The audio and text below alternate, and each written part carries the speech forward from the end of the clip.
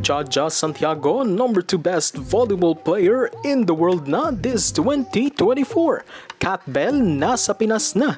Tuloy na ang comeback. Pero again, kayo sa subscribe notification bell para kapit ko dito sa ating channel. Angat ang galing ng Pinoy. Patuloy nga ang pagangat ng karera ni Pinay Pride Jaja Santiago sa international stage.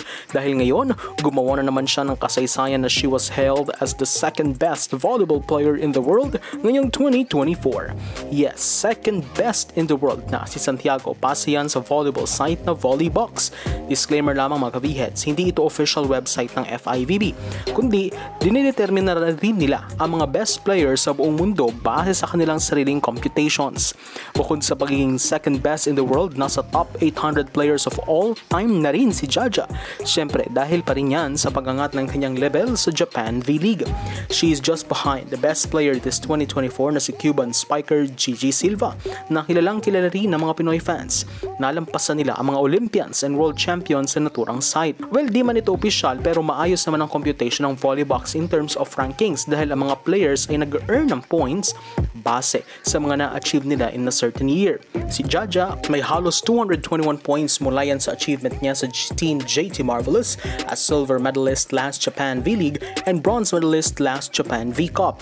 Bukod dyan, malaking boost rin ang kanyang individual awards kung saan tinanghal siyang Best Spiker, Best Blocker sa V-League. Malaking points kasi kapag nanalo ng medal at lalo na ng individual awards ang isang player, lalo pat may kukonsidera ang Japan bilang isa sa best volleyball club league sa mundo. Kasaysayan ito for Jaja as she is the only Filipina in history na ma-recognize as the second best volleyball player in the world this year and first Filipina na makapasok sa top 800 of all time. For sure, proud sa kanya ang mga Pinoy fans at ang Cherry fans niya na sa Pinas as she is also gearing her naturalization process para makapaglaro sa Japan national team.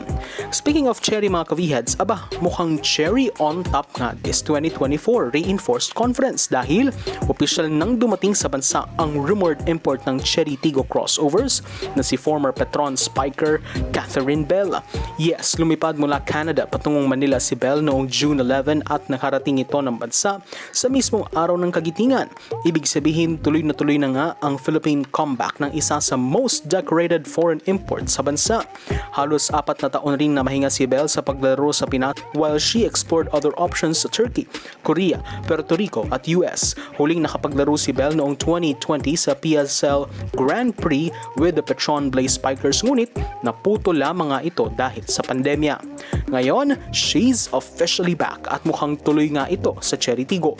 Makikita rin sa kanyang IG na nakafollow na ito sa mga Cherry players tulad ni Team Captain Abby Maranyo na siyang dati niyang katunggali sa PSL at blocker Amy Hernandez. Sa paglapag ni Bell sa bansa, sinalubong ito ng red flowers na mistulang senyales ng kulay ng crossovers. Naasang isa si Bell sa magiging best import sa conference na ito given her caliber na alam naman natin na kaya niyang dalhin at bukod dyan, bitbit niya rin ang credential as a former Korean League MVP.